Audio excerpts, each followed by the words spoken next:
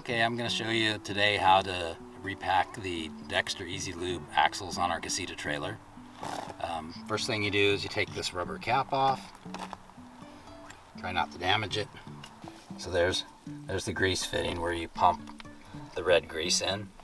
Um, the red grease is what Dexter recommends, but also um, is easy to see when the clean grease comes out because it's red.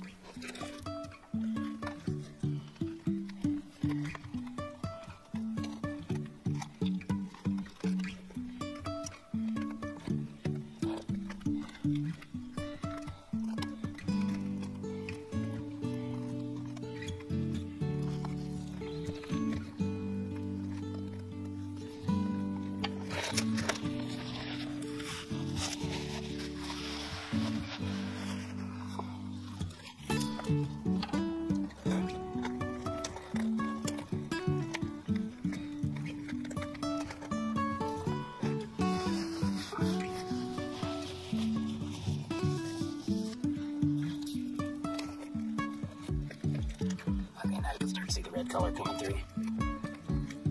Can you say that like you're talking in the audience? Yeah, now you can start to see the red color of the grease starting to come through. Uh, main thing you want to try and pump out as much of the old grease as you can.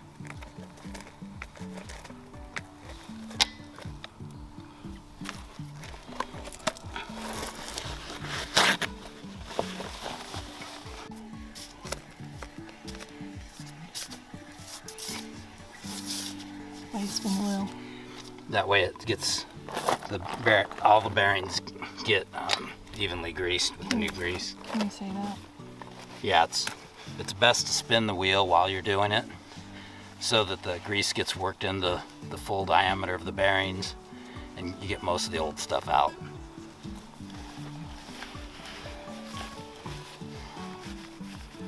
It's a dirty job, but somebody's got to do it. Oh, that's it, huh? Yep.